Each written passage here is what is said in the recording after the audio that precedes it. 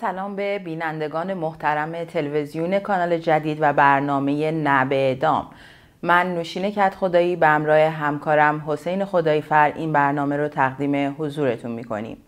در برنامه این هفته در خصوص گرامی داشت یاد جانباختگان آبان ما با حسن صالحی سخنگوی کمیته بین المللی علیه اعدام گفتگوی خواهیم داشت.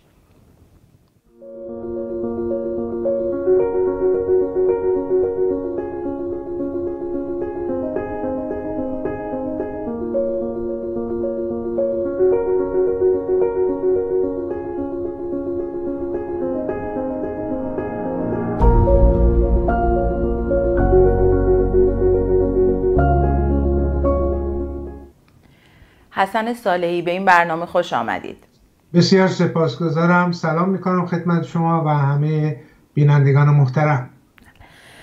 حسن صالحی به نظر می‌رسه که حکومت جمهوری اسلامی بدجوری به وحشت افتاده. از گرامی داشته یاد مردم معترضی که در جریان اعتراضات آبان ماه توسط جمهوری اسلامی به قتل رسیدن. در مناطقی از شهر تهران نیروهای سرکوبگر رو مستقر کرده و گفته میشه که اینترنت هم ضعیف شده و همچنین یک سری دستگیری های رو صورت داده خانواده پویا بختیاری که برای پنجده فراخان داده بودن رو دستگیر کرده و همچنین سراغ کسایی رفته که با خانواده های جانباختگان همدردی کردند و یا به دیدن اونا رفتن میشه یه جنبندی از آخرین اخبار به ما بدین؟ بله همونطور که گفتید از چند هفته پیش یک فراخانی داده شد که در روز پنجم دی برابر با 26 دسامبر یاد همه عزیزانی رو که در جریان اعتراضات آبان ماه توسط جلادان و جانیان جمهوری اسلامی ضرب گلوله کشته شدند. گرامی بداریم در نقاط مختلف ایران. مبتکرش خانواده پویا بختیاری بود جوان 27 ساله ای که در جریان اعتراضات آبان در تاریخ 25 آبان به قتل رسید کشته شد و بعد از اون البته خانواده های جانباختگان رای آزادی کسایی که جوانا و فرزندانشون به دلایل مختلف و در ادوار مختلف چند سال حیات جنایتکاران جمهوری اسلامی دست دادن فراخانی دادن و اونها هم, اونها هم بر همین تاکید گذاشتن که این روز به یک روز در واقع جهانی تبدیل بشه برای گرامی داشته. هم کشته شدگان جانباختگان آبان ما و هم همه کسایی که به دست جمهوری اسلامی در طول این چهل سال به قتل رسیدن و قرار شد که سازمان ها نهادهای مختلف سیاسی احزاب هم در این رابطه واکنش نشون دادن و حمایت پشتیبانی کردن و یک تدارک وسیع و گسترده ای برای بزرگداشت یاد این عزیزان در پنجم دی به جریان افتاد در جامعه که اشاره ما داشته باشیم که حتی وقتی که بازنشستگان معلمان در دوی دیما اعتراضات سراسری رو برای حق حقوق خودشون داشتن عکس همه جانباختگان آبان شماری از جانباختگان آبان رو در دست داشتن و یادآوری می‌کردن که باید یاد این عزیزان رو گرامی داشت. در شب الله هم این اتفاق در مناطق از شهر تهران مردم عکس عزیزان رو گذاشتن شم روشن کردن و یادشون رو گرامی داشتن. خب همه اینها باعث شد جمهوری اسلامی به وحشت بیفته. و چون می‌دونست که این می‌تونه خودش به یک نقطه تبدیل بشه که مردم یه طوری دیگه بیان بیرون و نفرت و انزجار خودشون رو در این حال از جمهوری اسلامی ابراز بکنن و به همین خاطر شروع کرده یک اقدامات سرکوبگرانه. اول خانواده بختیاری پدر مادر پویا بختیاری رو بردن اطلاعات سینجینشون کردن چند سال سال جواب کردن.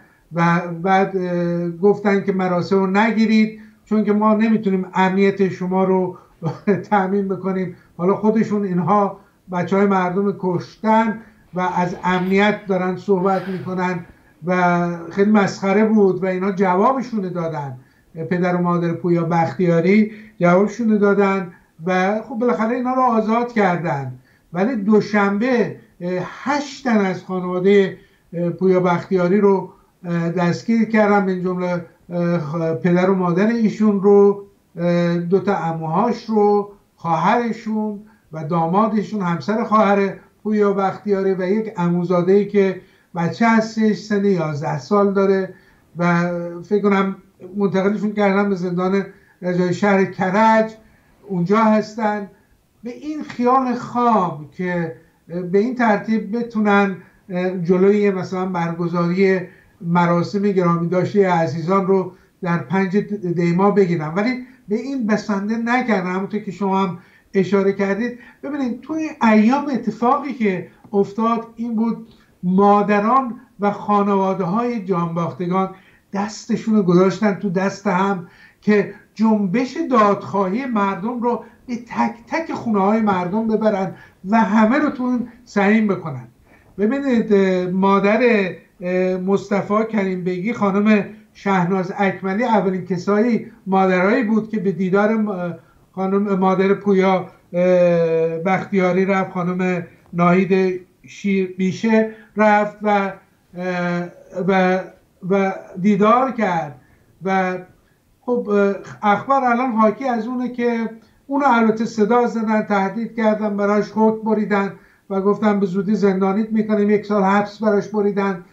و الان سه شنبه گذشته به سر وقت خونشون رفتن و دنبال مریم کریم بیگی در واقع خواهر جانباخته مصطفی کریم بیگی که در اعتراضات سال 88 جان باخت به دست این نیروهای سرکوبگر جمهوری اسلامی خواستن اون رو اون رو دستگیر کنن.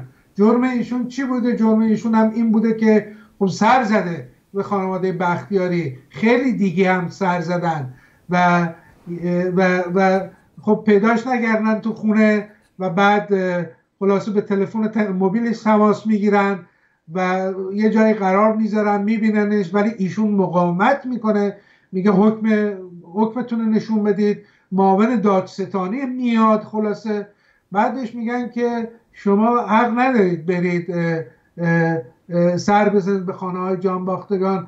میگه آدرس همه خانواده های جانباختگان بدید من به همهشون سر می‌زنم وظیفه خودم می‌دونن شما مردم رو کشتید و برادر منو کشتید بچه های جوان های مملکت رو تو آوان کشتید. چرا نمی‌ذارید مراسمی برگزار بشه و اینا؟ خلاصه مقاومت می‌کنن و بعد تهدیدش می‌کنن که حکم زندانش میاد جلبش خواهند کرد. اگر این کار رو ادامه بده و موبیلش رو مصادره می‌کنن در اختیار می‌گیرن پلاک اتومبیلش رو برمیدارن و بالاخره دستگیرش نمی‌کنن. ولی در این حال اخبار دیگه هم حاکی از این بود همونطور که شما گفتید که شماری از کسایی که به خانواده بختیاری رفته بودن اونجا برای ساعت معینی دستگیر کردن و آزاد کردن و, و, و به این ترتیب سعی کردن ممانعت بکنن. از این پیوندی که بین خانواده ها هست و پیامی که این خانواده ها برای دادخواهی دارن.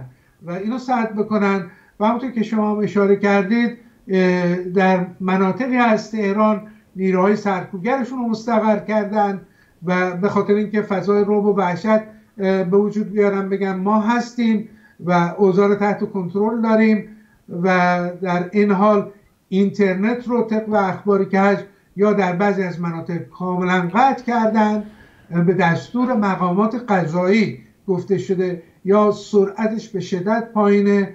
الان کاربرانی از ایران این رو مخابره کردن به خبرگزارهای متعدد و اینها همه تمهیداتی هست که جمهوری اسلامی اختیار کرده که جلوی بزرگ داشته و گرامی داشت یاد جانباختگان معترضین کشته شده در آبان آبان ماه رو بگیره بله. مورد دیگه ای که مطرح هست آمار کشته شده هاست بله. علا رقم فشارهای بین المللی که از جمهوری اسلامی می‌خواد آمار رو منتشر بکنه جمهوری اسلامی این کار رو نمی‌کنه و حقوق بشر سازمان ملل آمار رو بیشتر از 300 نفر اعلام کرد که هرچند ما می‌دونیم خیلی بیشتر از ایناست چرا که ما هر روز شاهد این هستیم که خانواده هایی که عزیزانشون رو از دست دادن علا رقم فشارهای جمهوری اسلامی سکوت رو کنار می‌ذارن و میان اعلام می‌کنن که ما در جریان اعتراضات آبان ما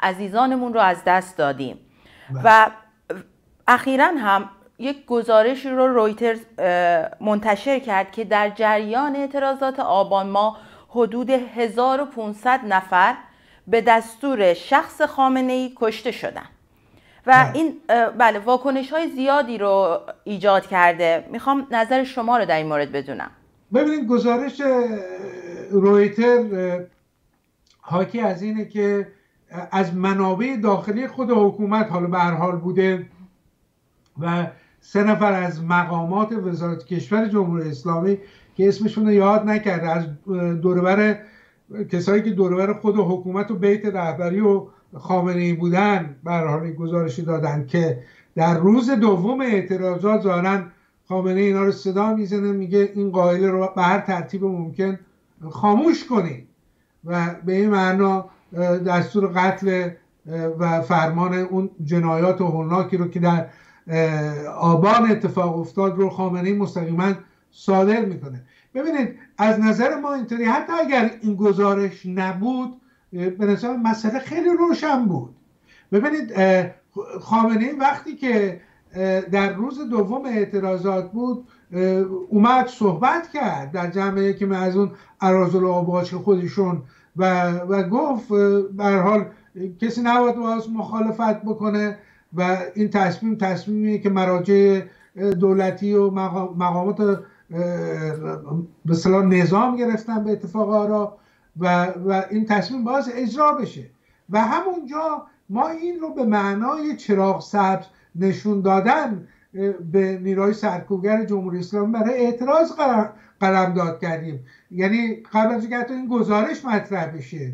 و یعنی خب الان گزارش رویتر گواه ادعای ما رو ثابت می‌کنه. حالا گزارش رویتر حالا این مقدار مورد بحث و جدل هم هست. من اونا کاری ندارم. یعنی می‌خوام بگم این این بحثی که ما داشتیم قبل از این هم معلوم بود که فرمان از بالا اومده و شخص خامنه دستور قتل عام فرزندان و مردم داده و بعد اینها خب به طور مستقیم رو در رو نشدن. با مردم اینطوری نیروهای سرکوبگرشون رو به مردم آتیش یعنی چش در مقابل چش بعضی جاها هم چش در مقابل چش بوده ولی خب نیروهاشون مثلا مستقر کردن روی ساختمان های مشرف بر جاهایی که تظاهرات در جریان بوده تک تیراندازهایی که به طور جانیانه ای به معترضین رو شکار می‌کردن قلب و سر اونها رو شکار می‌کردن و جاهایی هم بوده خب از نزدیک در صحن تظاهرات حمله کردن. خب این, این اقدامیه که سعی می‌کردن که بعد بتونن از زیرش در برن که خب این با گلوله اشرار اصطلاحی که اینا به کار می‌برن. خب یادتون باشه خامنه ای گفت اینها اشرارن. و وقتی گفت اشرار یعنی دستور حکم مرگشون رو صادر کرد و بعد به طور اینطوری که من توضیح دادم به قتل عام جوانان پرداختن مردم معترض پرداختن که بعد از زیرش در برن. حالا بیشتر می‌تونیم به این مسئله بعدا بپردازیم که رویکرد جمهوری اسلامی چی بوده در رابطه با این بعد از این لیست جان باخته؟ همطور که شما گفتید اینها سر باز دادن که لیست بگن. الان علی ربی هم گفته سخنگوی دولت گفت منکر شدن. این خبر در رابطه با خبرگزاری رویتر همه منکر شدن. گفتن نه اصلا خامنه جلسه با مقامات حکومتی برگزار نکرده و دستور همچی همچی دستور رو نداده.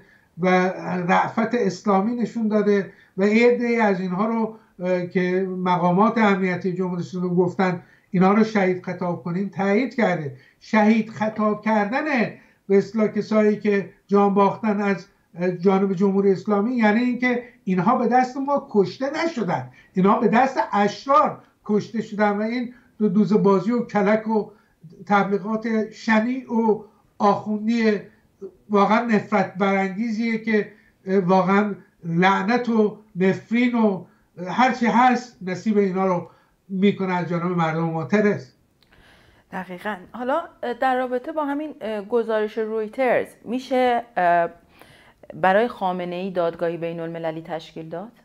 ببین قبل از حتی گزارش رویتر هم می‌شد دادگاه بین المللی تشکیل داد. این حکومت حکومتی در تاریخ چل ساله خودش هولوکاست هولوکاست رو نمایندگی کرده. قتل عام زندانیان سیاسی در دهه 60 یکی از این نمونه هاست. و کم گفته نشده کم صحبت نشده. در کل نقطه اطفای اعتراضی و جنبش های اعتراضی مردم از 88 گرفته تا 78 گرفته تا 96 گرفته. اینها همه مسئول قتل عام و کشتن مردم معترض بودند و به اندازه کافی پرونده قطور داره. یعنی می‌خوام معلومه که این رژیم رژیم قتل و جنایت رژیمی که مخالفین سیاسی خودش رو بر نمیتابه عامل حتی دستور دستور دادن ترور مخالفین خودش در سطح بین بوده. ده ها نفر از مخالفین جمهوری اسلامی به وسیله دستور همین مقامات جمهوری اسلامی کشته شدن در خارج کشور. بعضا براشون دادگاه هایی در مورد مورد میکناس در آلمان دادگاه هایی در تشکیل شده. در مورد عملیات تروریستی که در آرژانتین اینها انجام دادن حکم جلب بعضی از سران جمهوری اسلامی صادر شده. یعنی می‌خوام بگم گزارش دیگه مزید بر علت هست گزارش رویتر وگرنه به اندازه کافی پرونده اینها قطور هست که اگر یک وجدان آگاهی باشه اینا رو میاره و در دادگاه بین محاکمه می‌کنه. همونطور که خیلی دیگه هم محاکمه شدن مثلا رهبران دولت سودان بود اگه اشتباه نکنم. محاکمه کردن دادگاهی کردن. به جرم جنایت علیه بشریت. یعنی می‌خوام بگم نه فقط بر اساس اون چیزی که گزارشگر رویتر منتشر کرده بلکه بر اساس پرونده چهل ساله این حکومت سران جمهوری اسلامی همه باید بر به خاطر جنایت علیه بشریت محاکمه بشن و اگر جامعه جهانی و دولت ها ریگی در کفششون نبود اینا رو باید خیلی زودتر از اینها محاکمه می‌کردن حکم جلبشون رو صادر می‌کردن.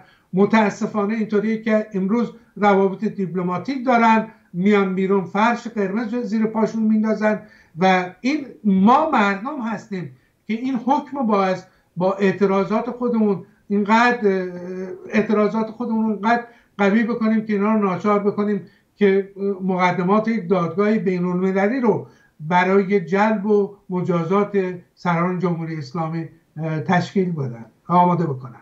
بله. پس حالا در مورد دستگیری های گسترده صحبت کردیم که جلوگیری بشه برای گرامی داشت در پنج دی ماه. بله. و از فضای سرکوبی هم که جمهوری اسلامی اعمال کرده صحبت کردیم حالا بله. به نظر شما آیا اینا باعث میشه که این مراسم برگزار نشه؟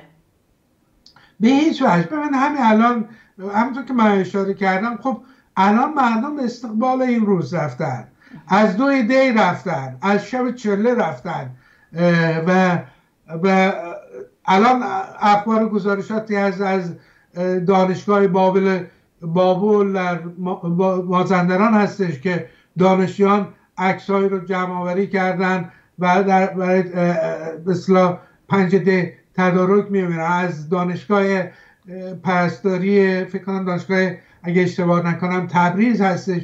ما اخبار مشابهی رو شنیدیم و ببین اعتراضی که فراخانی که خانواده پویا بختیاری داده بود این بود که در آرامستان بهشت سکینه کرج جمع بشیم. ولی خب ممکنه اونجا ممانعت بکنن. ممکنه اونجا اجازه ندن به خصوص با دستگیری هایی که انجام دادن از خانواده پویا بختیاری. ولی یاد و بزرگداشت این عزیزان فقط در گورستان های یا اونجایی که دفن شدن نیست. مردم به شکلهای مختلفی با روشن کردن شب و میگم گرفتن عکساشون در اعتراضات مختلف یاد این عزیزان رو گرامی میدم. من فکر می‌کنم جمهوری اسلامی موفق نخواهد شد از گرامی جلوگیری بکنه از گرامی داشت یاد این عزیزان و مردم بخصوص به اعتقاد من در محلات حالا در مراکز اصلی شهرها ممکنه جمهوری اسلامی نیروهای سرکوبگرش بیاره. ولی در محلات به خصوص اینطور نیست که اونها همه جا کنترل داشته باشن. در محلات میشه به یاد این عزیزان شم روشن کرد حتی شعار داد تجمعات محلی رو برگزار کرد. در می‌دونیم همونطور که گفتم در اعتراضات مختلف کارگری یا دانشجویی همینطور میشه از این عزیزان یاد کرد. بگیم که جامعه سکوت نمی‌کنه در مقابل این جنایت هولناکی که اتفاق افتاده و به راه اون عزیزانی که جان باختن که راهشون و هدفشون دستیابی به آزادی و خلاص شدن از اختناق و دیکتاتوری مذهبی در ایران بود و اینکه اون جامعه به آزادی برسه به عدالت برسه به مساوات برسه به برابری زن و مرد برسه از دست حکومت مذهبی خلاص بشه قدرت مردم اعمال بشه. اینا رو ما باید در سخنرانی هامون در برنامه های متعددی که می‌تونیم برگزار بکنیم به مناسبت پنجده گرامی بداریم. یک حرکت دیگه هم که در جریان خیزش آبان متداول بود مردم متوقف می‌کردن اتومبیل ها رو و به این ترتیب اعتراض خودشون نشون بدن. اشکال متعدد مردم خودشون رو راه راهشون رو پیدا می‌کنن و تا همین حال هم به نظرم اقدامات خوبی رو انجام دادن. بله. ممنون که در این برنامه همراه ما بودیم سپاسگزارم. بینندگان محترم به پایان این قسمت از برنامه رسیدیم. من نوشین کت خدایی به همراه همکارم حسین خدایی فر اوقات خوش را برای شما آرزو آرزومندیم. به امید ایرانی آزاد.